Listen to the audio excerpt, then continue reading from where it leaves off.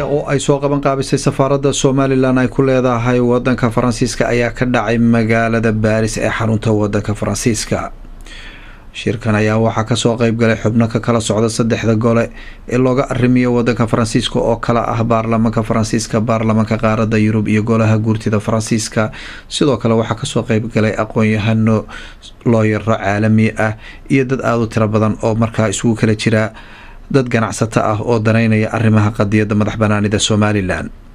Kulankan ayaa ugu horeyn waxaa furay danjiraha somalilan u jooga wadanka faransiiska mudane cali ismaaciil isagoo oo wufuudda uga mahad celiyay wakhtigooda qaaliga ah ee ay siiyeen islamarkaana in ay ku dhageystaan horumarka dhinac walba le ee ka socda dalka jamhuuriyadda somalilan.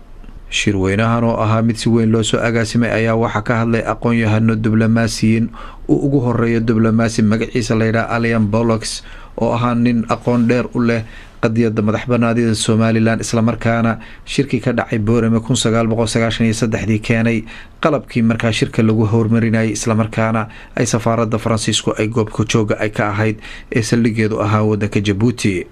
diblomaasi sare alian bolox ayaa si weyn oo hufan u sharaxay qadiyadda madax banaanida somalilan sidoo kale farqiga u dhexeeya kun iyo sanadkan labada kun iyo sideed tobanka horumarka dhinac walba le ee ay gaadhay somalilan shirkan ka dhacay magaalada baris ee xarunta wadanka faransiiska ayaa sidoo kalena waxaa ka hadashay suxufiyadda caanka ah lawrence carmel oo ah gabadh weriye ah oo u shaqeysa jariirada weyn caanka ah le monde islamarkaana dhowaan ka soo noqotay somalilan kana qeyb gashay doorashooyinkii madaxtinimada ee sannadkii hore ka dhacay dalka jamhuuriyadda somalilan. Lawrence carmel ayaa si weyn uga hadashay doorashooyinkii madaxtinimada ee ka dhacay somalilan sannadkii hore iyadoo si weyn ugu ammaantay somalilan tallaabooyinka dhinaca dimuqraadiyadda ee ay qaaday iyada oo sheegtay inay si weyn ugu qanacsan tahay islamarkaana ay ku faraxsan tahay nidaamka dimuqraadiyadda ee ka hirgelay gebi ahaanba dalka jamhuuriyadda somalilan shirweynahan oo ahaa mid si weyn loo soo agaasimay ayaa iyaduna waxaa ka hadashay carolina rivery oo ah gabadh buuggeeda b h d da ka qortay geeska afrika islamarkaana qeybo fara badan kaga soo qaadatay somalilan iyadoo u iftiimisay ka soo qeybgalayaashii nidaamka dimuqraadiyadda horumarka guud ahaan ka jira somalilan iyadoo si weyn buuggeeda ugu ammaantay nidaamka dimuqraadiyadda iyo horumarka bini-aadanimo ee ka jira gebi ahaan wadanka somalilan shirweynahan ayaa sidoo kalena waxaa ka soo qeybgalay koox suxufiyiin ah oo ka socda telefishanka france